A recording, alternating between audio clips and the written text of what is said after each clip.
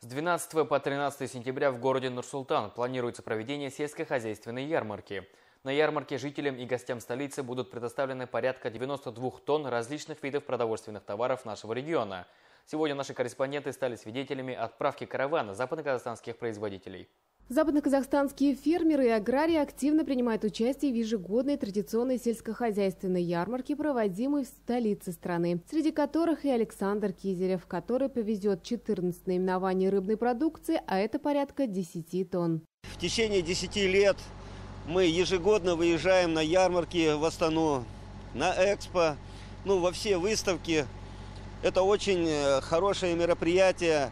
Там мы встречаемся с партнерами, клиентами, смотрим, как другие люди изготавливают продукцию, учимся у них, свою продукцию показываем. Одним словом, для нас это очень выгодно, потому что мы находим там клиентов внутри Казахстана и практически реализуем последующим целый год продукцию на хорошие суммы, что позволяет нашему предприятию подниматься, расширяться и надеяться на лучшее столичной ярмарке примут участие районные товаропроизводители.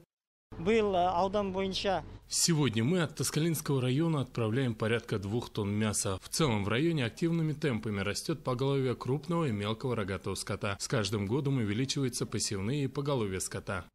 В этом году свою продукцию жителям и гостям Нур-Султана представят 85 местных производителей. Это порядка 92 тонн продовольственных товаров.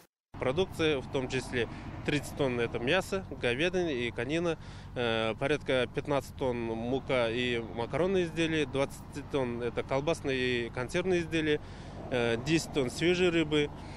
Также есть э, порядка 2000 литров подсолнечного масла.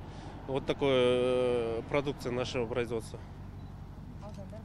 В ярмарке участвуют все сельхозтоваропроизводители всех районов. Уже сегодня утром представлять Западно-Казахстанскую область столицы нашей страны отправился первый большой груз. Альбина Кумаргалиева, Рустем Мыщанов, Айдос Кисимов, телеканал Акжаик.